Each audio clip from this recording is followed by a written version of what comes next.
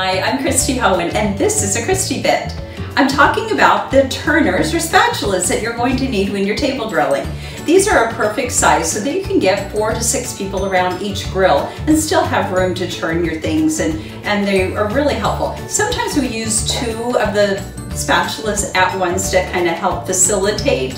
Um, you'll see that they're quite a bit smaller than a normal kitchen spatula. You can use these but I, I, will say they're bulkier and um, they don't look as nice on your table. Uh, and when you have too many people out there, then they're really not very practical. Uh, another thing that you can use that's really helpful are these smaller type of tong.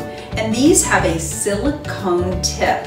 You never want to use anything that isn't silicone. Even when they say heat resistant, that doesn't mean they won't scorch on the grill.